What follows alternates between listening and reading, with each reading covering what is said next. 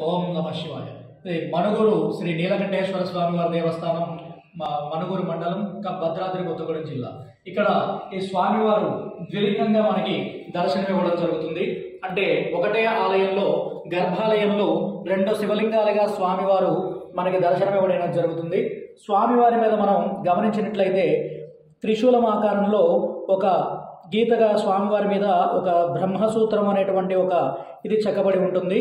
అది ఉన్నటువంటి లింగాన్ని మనం ఒక శివలింగాన్ని దర్శనం చేస్తే కొన్ని వేల శివలింగాలు దర్శనం చేసినటువంటి పుణ్యం ఆ యొక్క శివలింగ దర్శనంతో మనకు కలుగుతుంది.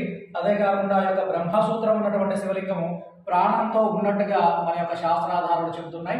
కావున మనం చెప్పేటువంటి బాధలన్నీ కూడా ఆ యొక్క స్వామివారు స్వయంగా విని మనల్ని కరుణిస్తారనేటువంటి దానికి ఆ యొక్క బ్రహ్మసూత్రం ప్రతీక.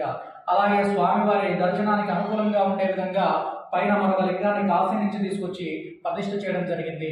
ఈ యొక్క పైన ఉన్నటువంటి స్వామివారి యంత్రానికి తాగుతూ కింద ఉన్నటువంటి స్వామివారికి ఒక రాగి తీగను మంత్రోచ్చరణతోటి శాస్త్రబద్ధంగా అనుసంధానం చేయడం జరిగింది. తద్వారా పైన ఉన్నటువంటి స్వామి వారికి సేవించినటువంటి నిత్య కైంకర్యములన్నీ కూడా కింద ఉన్నటువంటి స్వామి వారికి కూడా చెందుతాయంటానికి ఆ యొక్క శాస్త్రం ప్రతీక. అలాగే ప్రతి కార్తీక మాసంలో ప్రత్యేక పూజా కార్యక్రమంలో భక్తులు అత్యంత వైభవపేతంగా నిర్వహించడం జరుగుతుంది.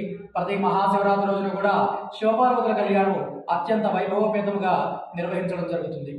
అలాగే ప్రతి వర్షాకాలం నందు వర్షాభావ పరిస్థితులు ఏర్పడినట్లయితే ఈ యొక్క స్వామివారికి సహస్ర ఘంటాభిషేకం అనేటువంటి కార్యక్రమం ఉంటుంది. గ్రామస్తులందరూ కూడా వెయ్యి విద్యలతో నీళ్ళను తీసుకొని వచ్చి కిందనటువంటి శ్రీ పాతాళ లింగేశ్వర స్వామి వారికి సహస్ర ఘట్టాభిషేకం చేయడం జరుగుతుంది.